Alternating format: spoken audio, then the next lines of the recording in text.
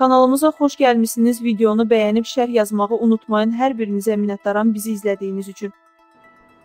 Tehranın Bəşər Əsəd rejimi ilə İsrailin hücumlarına qarşı Suriyaya Kordad 15 hava hücumundan müdafiə və elektron döyüş sisteminin ixracı ilə bağlı razılığa gəldiyi bildirilib.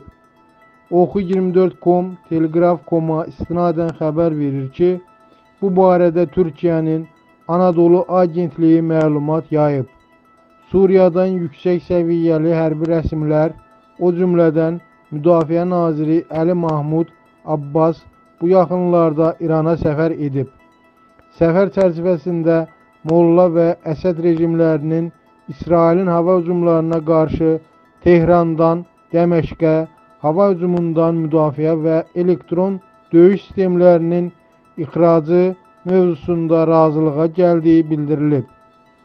Suriya öz hava hücumundan müdafiə şəbəkəsi və döyüş təyyarələri üçün dəqiq idarə olunan bombaları yenidən konfigurasiya etməlidir. Suriyanın hava hücumundan müdafiəsini gücləndirmək üçün böyük ehtimalla İran radarlarının və Kordad 15 sistemi kimi müdafiə raketinin Suriyaya tədarükünə şahid olacağıq. Məlumatda deyilib.